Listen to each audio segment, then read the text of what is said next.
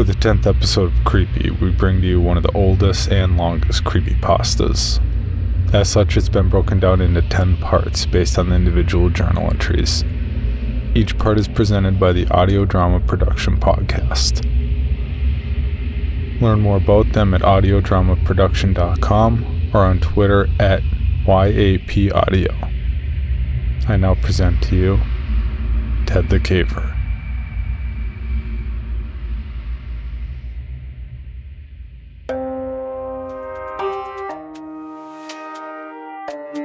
This is Creepy, a podcast dedicated to sharing the most famous, chilling, and disturbing creepypastas and urban legends in the world.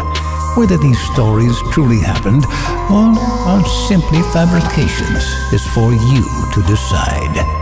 These stories may contain graphic depictions of violence and explicit language. Listener discretion is advised. Ted the Caver.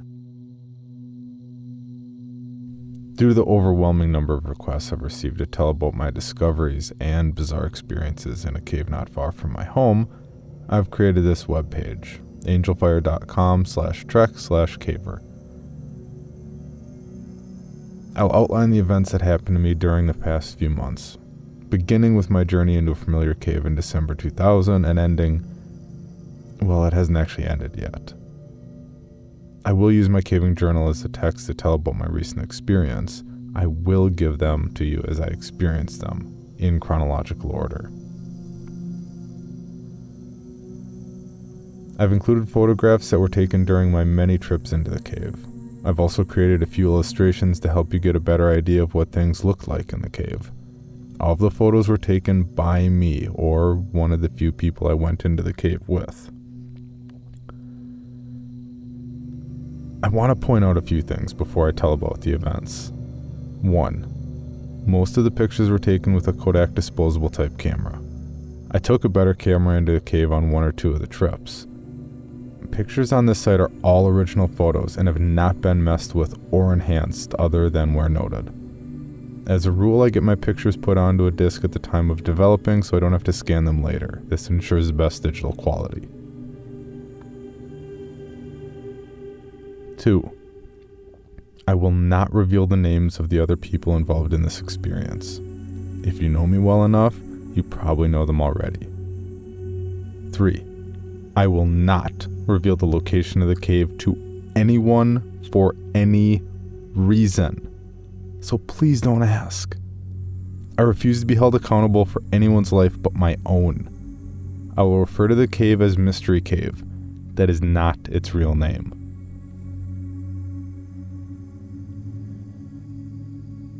If you think these events sound far fetched, I agree. I would come to the same conclusion had I not experienced them. I will try to finish the site as soon as possible. Check the date on the main page to see when I've made updates protect myself from people who might want to copy this site, I include the following. All text on this and following pages are my own words and copyright 2001. Ted. I will divide the story into two types of recording for the sake of clarity. The regular recording is taken directly from my caving journal. The voiceover with underscore and audio changes is my comment as I reflect on the experience. I will do my best to convey the thoughts and feelings I had during the entire event. I will not use the actual names of the other individuals involved. I will include the entire relevant text in my journal. Only small parts of the journal will I skip. This will only occur when the entry has nothing to do with the experience in the cave, such as eating dinner after a trip, getting fuel or snacks, irrelevant details, etc. My journal is fairly thorough. I will merely summarize what I'm cutting out of the actual entry. In an effort to present this experience in as accurate light as possible, I will record my journal as I wrote it. Sans grammar check. Please overlook my errors. My additional comments will help to clarify the things I wrote in my journal. Caving Journal 12 30 2000 B and I decided to get into one more caving trip before the new year. so we set our sights on Mystery Cave. Not a spectacular cave, but since neither of us have been caving in a while, it'd be nice to go into any cave. There was a bit of an excitement to this trip. There was a small passage in the lower portion of the cave that I wanted to check out to see if it was possible to get past it. It had a small opening, but lots of air blowing out of it.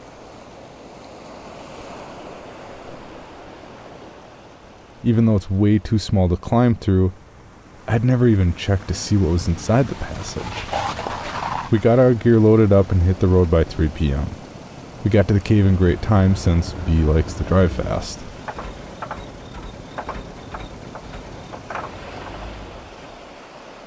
We anchored from the usual tree and began to rappel into the cave. I went down first and got my gear together while B came down. I will refer to B many times. We've been caving together for many months now. He was injured in a caving accident a few years ago and was told he would never walk again. Through hard work and perseverance, he not only walks but can get around very well in caves. The trickier part of a cave might slow him down a bit, but he can make it. He patiently works through an obstacle until he gets past it. As for the reference to the small opening in the cave, there's a saying among cavers if it blows, it goes. Meaning, if a passage has a good flow of air, it's probably worth investigating. After we explored all the usual passages, we climbed down to check out the hole. The hole's located deep in the cave, near the lowest part of the cave. It's on the side of a cave wall about three feet from the floor. To look inside the hole, I had to kneel down and duck under an overhang of rock.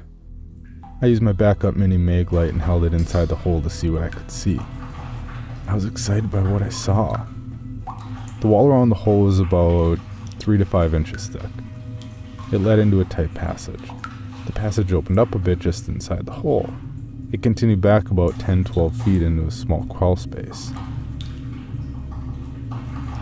After that, it seemed to really open up, although how much we couldn't tell.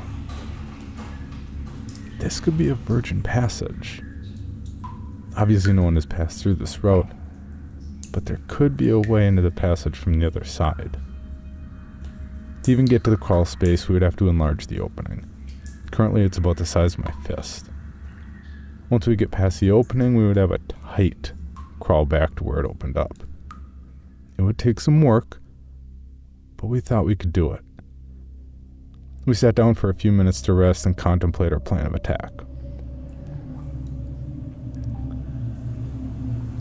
While we sat there in the darkness, we could hear the wind howl from the other side of the passage.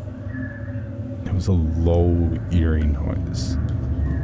We could also hear a low rumble from time to time. No big deal though. The cave's in the vicinity of a highway that has heavy trucks drive on it. We figured the rumble was the effect of the trucks resonating through the rocks. We determined that our best plan would be to haul a cordless drill into the cave to drill into the rock. Then we could take a bull pin and a small sledgehammer and break up the rock. It seemed pretty straightforward. We would widen the hole big enough to squeeze in and see what was on the other side. The effort to haul the equipment down to the hole would be a pain, but we hoped it would be worth it. I named the passage Floyd's Tomb, after Floyd Collins. It seemed to look like the tight spot where Floyd spent his last miserable days on Earth. Floyd Collins was a caver back in the early 1900s. He got stuck in a tight crawl space and was unable to free himself. It is an amazing story that is detailed in a book called Trapped The Story of Floyd Collins. I think that was the title, I don't recall the author. Calling our passage Floyd's Tomb was not only a tribute to Floyd, but a commentary of the size of the passage. In retrospect, it is funny how simple I thought it was going to be. I figured a few hours of work and we'd be in. Had I known how long it was going to take, I doubt I would have even begun the project. Had I known what I was going to experience in the cave, I never would have returned. We gathered up our gear and headed for the surface. Normally, I couldn't care less if I ever came back into this cave. There was nothing special about it. but now I was psyched about getting back and getting through. We hadn't even left the cave when we were planning our return trip. The rest of the journal entry talked about the climb out of the cave, our dinner, and our trip back home.